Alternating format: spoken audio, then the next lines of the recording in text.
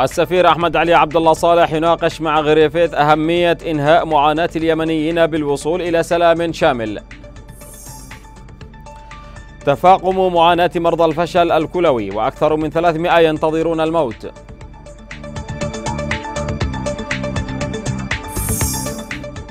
الحوثيون يندحرون من ميدي وخسائر جسيمة في الأرواح والعتاد.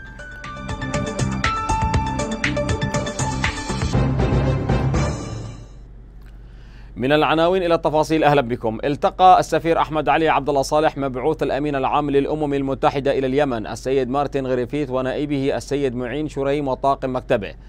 اللقاء ناقش الأوضاع في اليمن وما يعانيه الشعب اليمني في المجالات المختلفة خاصة في الجوانب الإنسانية وآفاق الوصول إلى تسوية سياسية عادلة وتحقيق السلام الدائم والشامل الذي ينهي معاناة أبناء الشعب اليمني الراهنة ويضمن أمن واستقرار اليمن والمنطقة.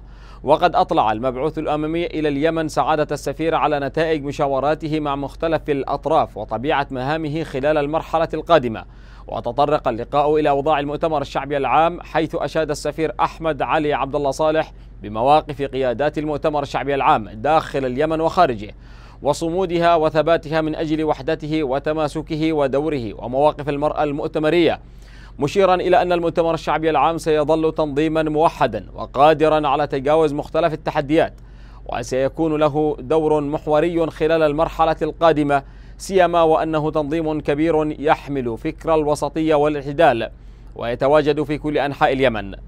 اللقاء أكد أهمية استيعاب جميع الأطراف المشاركة للمشاركة في بناء اليمن مؤكدا بأن صنع مستقبل اليمن يتطلب العودة إلى الحوار والتفاهم والدفع بالمسار السياسي الديمقراطي الذي يضمن الشراكة للجميع متمنيا للمبعوث الأممي النجاح في مهمته لإحلال السلام والاستقرار في اليمن. حضر اللقاء العميد عمار محمد عبد الله صالح. كما التقى مبعوث الأمين العام للأمم المتحدة إلى اليمن السيد مارتين غريفيث ونائبه السيد معين شريم وطاقم مكتبه بعدد من قيادات المؤتمر الشعبي العام. منهم الشيخ قاسم الكسادي والأستاذ أحمد الكحلاني والأستاذ حمود الصوفي. والدكتور عبد الله أبو حورية. اللقاء ناقش تطورات الأوضاع في اليمن حيث أكدت القيادات المؤتمرية أهمية السعي لإنهاء معاناة الشعب اليمني وإنهاء مرحلة الاقتتال والسعي لتحقيق السلام كما ناقش اللقاء المسؤولية الملقاة على عاتق كافة القوى الوطنية وفي مقدمتها المؤتمر الشعبي العام للخروج بحل شامل وكامل للأزمة اليمنية حيث أكدت القيادات المؤتمرية أن المؤتمر الشعبي العام سيظل حريصا على مد يده للسلام ودعم الجهود الأممية الرامية إلى إنهاء الحرب وإعادة الأمن والاستقرار والسلام إلى اليمن. تتفاقم معاناة مرضى الفشل الكلوي يوما بعد آخر في محافظة الحديدة حيث أغلق مركز الغسيل أمام المرضى بسبب نقص المحاليل والمستلزمات الطبية وتوقف الميزانية التشغيلية للمركز الوحيد لأكثر من عام. مأساة جديدة يعيشها مرضى الفشل الكلوي في محافظة الحديدة بحثا عن جلسات غسيل كلوي لعلها تعطيهم أملا في الحياة بعد أن تفاقمت معاناتهم وازدادت أوجاعهم. جراء توقف المراكز عن إجراء جلسات الغسيل لهم ونفاذ المحاليل مما يعرض حياتهم للخطر والموت في أي لحظة. الآن الواحد اليوم يجلس يعني ثمان أيام ستة أيام سبع أيام على حسب المواد. تجي المواد غسيل. ما فيش كده حنعاني لما ما فيش معكم مواصلات. والمواصلات تعب. أنا بيك صراحة ما عندناش. أحيانا يكون الماء أنا حتى الفلوس والله تسلف سلف آخرته ما فيش. مرضى الفشل الكلوي يشكون من تأخير جلسات الغسيل في عدد من المراكز والتي توقف بعضها عن العمل لأسباب عديدة. أبرزها النقص الحاصل في الإمدادات الطبية وشحة المحاليل والنفقات التشغيلية ما أدى إلى وفاة عدد منهم. مرمين تعبانين من المواد من المحاصرات علينا ومن لكن الحمد لله نشكره. 852 حالة مرضية تستقبلهم مراكز الغسيل الكلوي في الحديدة من المحافظات والمديريات المجاورة كمحافظات حجة والمحويت وريمة وذمار لكنها أغلقت أبوابها لشحة المحاليل الخاصة بالغسيل فتبقى مركز واحد يعمل في هذه المحافظات. علاجات ما فيش المختبر ناقص الأدوات حقه ما في إلا حتى الموظفين حق المختبر يعانوا من قلة المواد حق المختبر ولا يوجد يعني المواد بصعوبة بالغة. وبعض الأوقات ما نغسل إلا من الأسبوع للأسبوع غسلة واحدة. تخفيض جلسات الغسيل يسبب مضاعفات وآلام كبيرة للمرضى. ما زاد من حجم المعاناة الأمر الذي أدى إلى وفاة البعض منهم. الإمكانيات وتأخير وصول الأجهزة وانقطاع التيار الكهربائي وعدم قدرة المركز على استيعاب المرضى خصوصا القادمين من المحافظات المجاورة بأعداد هائلة تفوق طاقة المركز وكلها أسباب أدت إلى وفاة مرضى الغسيل الكلوي بالحديدة. إلى ذلك يهدد الموت حياة أكثر من 300 مصاب بالفشل الكلوي بمركز مرضى الغسيل في مستشفى الثورة في تعز. مصادر طبية نشدت وزارة الصحة والمنظمات الدولية والإنسانية إنقاذ حياة المرضى وتوفير المحاليل والمستلزمات الطبية الخاصة بغسيل الكلى وإيجاد حل جذري لمشكلة احتياجات مرضى الفشل الكلوي قبل فوات الأوان. في محافظة ذمار أقدم طاقم حماية القيادي الحوثي صالح الصماد على دهس سائق وراكب دراجة نارية في مدينة ذمار حيث لقي أحدهما مصرعه جراء الحادثة. شهود عين أكدوا أن الطاقم الحوثي رفض نقل المصابين إلى المستشفى ومضى في طريقه ليتولى بعض الأهالي والمرة نقل المصابين إلى المستشفى لكن أحدهم توفي بعد دقائق من وصوله إلى المستشفى. وتعد حوادث دهس المواطنين من قبل مسلح الحوثي الذين يقودون سياراتهم بسرعة عالية أمرا شائعا في مدينة ذمار ففي الأسبوع الماضي دهست مركبة يقودها نجل, نجل قيادي حوثي سيدة مع طفلتها وتوفيتا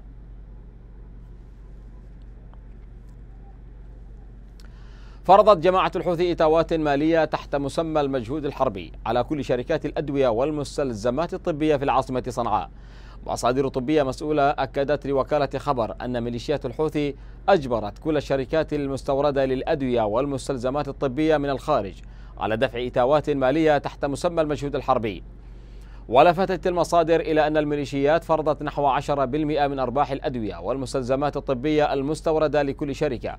وتباع في الداخل كنسبة مالية تتسلمها الميليشيا بشكل سنوي مشيرة إلى أن الشركات تدفع هذه النسبة المالية من أرباحها علاوة على الأدوية والمستلزمات الطبية التي تقدمها لجرحى ميليشيات الحوثي من وقت لآخر. أبو درويش قصة معاناة إنسانية. أصيب بمرض عضال أفقده الحركة ليصبح عالة على الأسرة التي باتت تفترش الأرض وتلتحف السماء وتعجز عن إنقاذ رب البيت بسبب الحرب التي بات اليمنيون يصارعون الموت قتلا ومرضا وجوعا. كان لها الظل والحائط الذي تتكئ عليه. قبل أن يصاب بمرض عضال أفقده الحركة ليصبح عالة على الأسرة التي باتت تفترش الأرض وتلتحف السماء وتعجز عن إنقاذ رب البيت. بني شغال في سفر أم درويش. ذات السبعين عاما. تكابد الحياة إلى جوار زوجها المقعد الذي أصيب بالشلل ونجلهما الوحيد درويش الذي يعمل حمالا لسد احتياجات الأسرة من مأكل ومشرب فيحالفه الحظ تارة ويعود خالي الوفاض تارة أخرى. معنا الشه معنا الحال أعلم به الله وهنروح سفر يوم نحصل يوم ما نحصلش. إيش تشتغل؟ شغال حمال. الله. لم يبق لأبي درويش إلا الدموع التي باتت تحرق مقلتيه ليلا ونهارا وتحكي أوجاعه ومعاناة أسرته فتخنقه عبرات الألم وآهات المرض في زمن ما يسمى بسلطة الأمر الواقع التي لم تعد تبالي بحال الناس وما وصل إليه من سوء كانت هي المتسبب الرئيس فيه. معنا الله سبحانه. ما بوش نرقدهم بداح نقومهم بداح بكلمات حزينة وجسد منهك. تعبر هذه السيدة عن معاناتهم مع المرض والفقر في آن واحد. في ظل أوضاع اقتصادية غاية في السوء نتيجة الأوضاع التي يعيشها اليمنيون جراء الحرب العبثية التي قتلت كل مظاهر الحياة في البلد. تخط أم درويش واقعها المأساوي وكل أملها أن يمحى الألم من حياتها. تجلس عاجزة دون لا حول لها ولا قوة بجانب زوجها المقعد الذي ملأت صرخات أوجاعه كل أرجاء هذه العشة التي أصبحت ملجأهم الوحيد. يمسك بيدها عله يستمد منها القوة لمواجهة المرض وقسوة الظروف التي فتكت به وبأسرته. هكذا بات ينقل رب البيت الذي كان ذات يوم عماد أسرته وسندها قبل أن يصاب بالشلل وباتت حياة زوجته وابنه مشلولة من بعده وحصولهم على وجبة غذاء وشربة ماء أمل يطمحون إليه في ظل سلطة بات اليمنيون بسببها يصارعون الموت قتلا ومرضا وجوعا. تناولت مواقع إلكترونية وناشطون صورا للوحات الإعلانات ولوحات محلات الأعراس التي شوهت وموهت ملامحها. المصادر ذكرت أن جماعة الحوثي الإرهابية أصدرت توجيهاتها لأمين العاصمة المعين منها بتشويه صور عارضات فساتين الأعراس النسائية. ونشر الناشطون صورا لمحلات في شارع كلية الشرطة بالعاصمة صنعاء مغشية على وجوه عارضات الفساتين في اللوحات الدعائية للمحلات. وسخر الناشطون من توجيهات الحوثي ووصفوها بالداعشية. وكان الحوثيون قد تلقوا توجيهات مطلع العام الحالي من زعيمهم بمنع وإقفال أقسام العوائل في المطاعم والكافيهات بالعاصمة صنعاء ضمن مشروع الجماعة الرامي إلى التضييق على السكان في مناطق سيطرتهم وإقفال جميع سبل الحياة في وجه الشباب لاستقطابهم إلى جبهات القتال دفاعا عن الميليشيات ومشاركة في حربها ضد الوطن. وتعيد ممارسات ميليشيات الحوثي إلى الأذهان ما كان يمارسه تنظيم داعش الإرهابي في مدن عراقية وسوريا أثناء سيطرته عليها. إذ اتبع الحوثيون ذات الخطى لقمع الحريات العامة ومحاصرة المواطنين بأفكارها المتطرفة. اندحرت ميليشيات الحوثي الظلامية من مدينة ميدي في محافظة حجة بعد تكبدها خسائر فادحة. وفي نهم وصرواح تلقت مزيدا من الضربات من الضربات المسددة ألحقت بها هزائم كبيرة. مستجدات الجبهات نتابعها في التقرير التالي. تتوالى انكسارات جماعة الحوثي الإرهابية في مختلف الجبهات. البداية من صعدة حيث دحرت الميليشيات من مواقع جديدة في مديرية باقم. المعركة مع الميليشيات الحوثية في صعدة تحتل أهمية قصوى في الحسابات العسكرية والسياسية. فهي تضم مركز القيادة والتحكم للفكر الحوثي كما أنها تمثل العمق الجغرافي للحوثيين. وفي جبهة ميدي توالت الضربات الموجعة على عصابة الحوثي الإرهابية. فقد لغي العشرات من مسلحي الجماعة مصرعهم وجرح وأسر آخرون في المعارك الدائرة هناك. وذكرت مصادر ميدانية أن الاشتباكات لا زالت متواصلة في آخر أحياء المدينة من الجهة الشرقية. وأضافت المصادر أن القوات الحكومية تخوض منذ يومين معارك عنيفة لاستكمال تحرير كامل المدينة وأن المعارك لا زالت مستمرة فيما تكبدت الميليشيات خلالها خسائر كبيرة في العتاد والأرواح. عليكم تسليم أنفسكم وإلا سيتم التعامل معكم بجميع أنواع الأسلحة. إلى جبهة نه التي قتل فيها أربعة من الميليشيات الحوثية خلال مواجهات مع القوات الحكومية. ووفقا لمصادر ميدانية فإن أهم خطوط إمداد الحوثيين باتت تحت السيطرة النارية بعد استعادة القوات الحكومية لسلسلة جبال الزلزال. وفي سرواح قتل العشرات من مسلحي الحوثي وجرح وأسر آخرون في المعارك الدائرة هناك. مصادر محلية ذكرت أن الاشتباكات لا زالت متواصلة حتى هذه الأثناء وأضافت أن القوات الحكومية تخوض منذ يومين معارك عنيفة لاستكمال تحرير صرواح وتكبدت الميليشيات خلالها خسائر كبيرة في العتاد والأرواح. أما محافظة البيضاء فإن وضع الميليشيات الحوثية في هزائم أشد من غيرها. والخبر الأهم هو أسر مسؤول رفيع في الجماعة الحوثية. وقالت مصادر محلية أن القوات الحكومية تمكنت من أسر مسؤول الإمداد لميليشيات الحوثي ومرافقيه في منطقة الرخيم. وأوضحت أنه وجد في تلفون المشرف الحوثي معلومات مهمة. المعارك المستمرة في جبهة قانية أسفرت عن سقوط قتلى وجرحى في صفوف الميليشيات فضلا عن تدمير أسلحتهم وعتادهم. محافظة تعز هي الأخرى. تتلقى الميليشيات الحوثية فيها ضربات موجعة فقد قتل وجرح العشرات في صفوفها حيث تمكنت القوات الحكومية من تحرير تلة الكنبتين وتلة الإريال وعدد من المواقع الأخرى في محيط منطقة عصيفرة. فيما لا زالت المعارك مستمرة حتى اللحظة وسط انهيارات كبيرة في صفوف عصابات الحوثي. وفي الجبهة الشرقية لتعز أيضا مصادر محلية ذكرت أن الحوثيين شنوا هجوما لاستعادة مواقع كانوا قد خسروها في كرش والراهدة لكنهم تكبدوا خسائر فادحة إثر تصدي القوات الحكومية للهجوم. ما أدى إلى سقوط أكثر من عشرين قتيلا حوثيا وجرح آخرون. انتشرت قوة عسكرية كبيرة تابعة لقوات الحماية الرئاسية في محيط قصر المعاشيق في صيرة عقب انفجار عبوة ناسفة زرعها مجهولون بالقرب من القصر التي تتخذه الحكومة مقرا لها في العاصمة عدن. مصادر محلية أكدت أن عبوة ناسفة زرعها مجهولون انفجرت بالقرب من القصر. أسفرت عن سقوط جريح وأضافت المصادر أن القوى الأمنية انتشرت في المكان خوفا من وجود عبوة أخرى. وبشر فريق بمسح المكان للتأكد من عدم وجود أي عبوة أخرى. النشرة مستمرة وتتابعون بعد الفاصل. الظروف الصعبة تجبر القعود على بيع مقتنيات مكتبته الخاصة.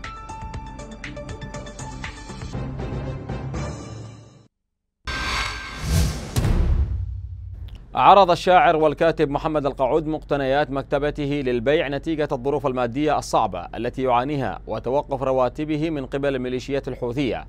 حاله حال أكثر من مليون ومئتين وخمسين ألف موظف لم يتسلموا رواتبهم منذ قرابة عام ونصف. أن يعرض الأديب والشاعر اليمني مقتنيات مكتبته للبيع.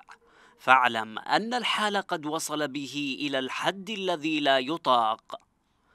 حقيقة فجرها محمد القعود على صفحته في الفيسبوك. وأعلن الشاعر ورئيس اتحاد الأدباء والكتاب اليمنيين فرع صنعاء أن مكتبته التي تحوي أكثر من ثمانية آلاف كتاب معروضة للبيع لسداد الديون التي كبلته وفي مقدمها إيجار السكن قبل أن يجد نفسه على قارعة الطريق. القعود كاتب الروايات القصيرة والذي يعمل أيضا محررا ثقافيا لصحيفة الثورة في صنعاء. لم يشفع له ذلك في الحصول على مرتبه. ووجد نفسه واحدا من أكثر من مليون ومئتين وخمسين ألف موظف حرمتهم ميليشيا الحوثي من مرتباتهم منذ أكثر من عام ونصف. صحفي آخر زامل القعود في مؤسسة الثورة للصحافة والطباعة والنشر. هو الصحفي الرياضي علي الريمي. لجأ إلى العمل في أحد محلات غسل السيارات بعد توقف صحيفة الرياضة وتوقيف راتبه وزملائه من قبل عصابة الحوثي. الحرب التي أشعلتها ميليشيات الحوثي منذ أكثر من ثلاث سنوات. تسببت في هجرة الكثير من الرياضيين إلى البلدان المجاورة كغيرهم بحثا عن تأمين لقمة العيش.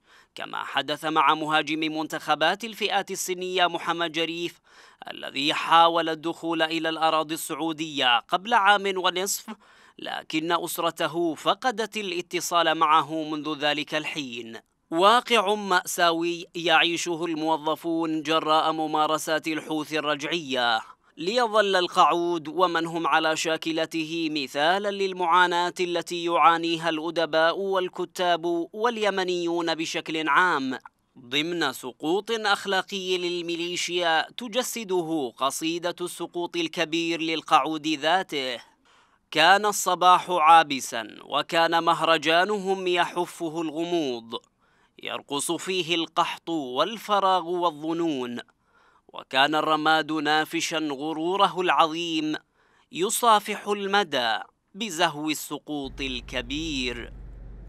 الميليشيات الحوثية تجني أكثر من 4 مليارات ريال من فوارق بيع الغاز المنزلي في السوق السوداء في محافظة المحويت. والليرة التركية تخسر أمام الدولار لأول مرة منذ 14 عاما. والرئيس الصيني يرد على واشنطن بخفض التعريفات الجمركية على السيارات. هذه الأخبار وغيرها تتابعونها في الملف الاقتصادي.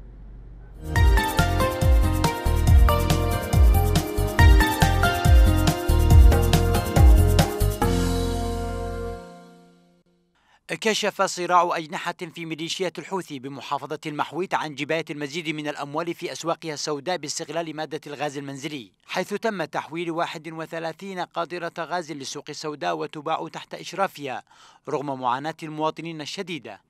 وفي هذا السياق كشفت مصادر إعلامية عن فساد السلطة الحوثية خلال 29 شهرا تقدر بأكثر من أربعة مليارات ونصف المليار ريال من فوارق بيع الغاز المنزلي وحصة المحافظة التي تذهب لصالحها وتعمل على بيعها في السوق السوداء بأسعار مضاعفة لتحرم المواطنين المحتاجين من شرائها بأسعارها الرسمية. قال الجهاز المركزي المصري للتعبئة العامة والإحصاء إن تضخم أسعار المستهلكين السنوي بالمدن المصرية تراجع إلى 13 و3% في مارس من 14 و4% في فبراير. وعلى أساس شهري زادت وتيرة تضخم أسعار المستهلكين في المدن إلى 1% في مارس. وكان التضخم بلغ مستوى قياسي مرتفعا يقارب 35% في يوليو. بفعل خفض دعم الطاقة لكنه بدأ يتراجع تدريجيا مع انحسار الضغوط الناجمة عن تحرير سعر صرف الجنيه. لأول مرة ومنذ 14 عاما تخسر الليرة التركية 6.5% من قيمتها أمام الدولار هذا العام. بسبب مخاوف من أن تؤدي مساعي أردوغان لخفض سعر الفائدة لسياسة أكثر تيسيرا حتى مع بقاء التضخم. ورغم تمسك الرئيس التركي بموقفه إلا أن هناك مخاوف كبيرة يبديها المستثمرون بشأن السياسة النقدية الجديدة من التضخم والعجز الكبير في ميزان المعاملات الجارية إلا أن البنك المركزي بحاجة إلى تشديد السياسة النقدية لدعم الليرة خشية انهيارها. قال الرئيس الصيني شين جين بينغ في منتدى بواو الآسيوي الاقتصادي إن بلاده ستخفض التعريفات الجمركية على السيارات وستزيد انفتاح قطاعها المالي وتقوي حقوق الملكية الفكرية وذلك على خلفية نزاع تجاري مع الولايات المتحدة. وأضاف بينغ في الاجتماع الدولي السنوي أبواب الصين المفتوحة لن تغلق ستفتح فقط على نطاق أوسع. ويهدف الثاني أكبر اقتصاد في العالم إلى خلق بيئة استثمار أكبر جاذبية وتعزيز حقوق الملكية الفكرية الأساس الذي استندت الولايات المتحدة عليه لفرض تعريفات عقابية على الواردات الصينية. أعلن رئيس الشركة الوطنية الفرنسية للسكك الحديدية اف جيوم بيبي أن إضراب عمال القطاع كلف الشركة حتى الآن 100 مليون يورو وأن كلفة الإضراب تبلغ 20 مليون يورو يومياً. هذا وجدد عمال السكك الحديدية الفرنسية إضرابهم منذ الأحد احتجاجا على خطة إصلاح الشركة الوطنية لسكك الحديد. مؤكدين استعدادهم تصعيد تحركهم في مقابل تصميم الحكومة على المضي قدما في مشروعها. زادت أسعار النفط أكثر من واحد بالمئة الثلاثاء لتواصل المكاسب القوية التي حققتها في الجلسة السابقة بفضل آمال بحل نزاع تجاري بين الولايات المتحدة والصين. دون إلحاق أضرار كبيرة بالاقتصاد العالمي. حيث ارتفعت العقود الآجلة لخام القياس العالمي مزيج برنت إلى 69 دولارا و62 سنتا للبرميل بزيادة 96 سنتا مقارنة مع سعر الإغلاق السابق. وصعدت العقود الآجلة لخام غرب تكساس الوسيط الأمريكي لتصل إلى 64 دولارا و31 سنتا للبرميل بارتفاع 69 سنتا.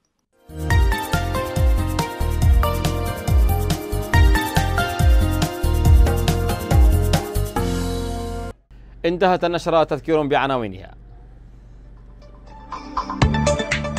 السفير أحمد علي يناقش مع غريفيث أهمية إنهاء معاناة اليمنيين بالوصول إلى سلام شامل. تفاقم معاناة مرضى الفشل الكلوي وأكثر من 300 ينتظرون الموت.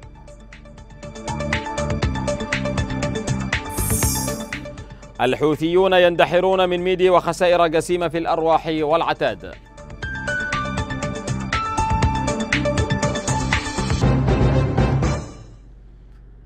انتهت النشرة إلى اللقاء.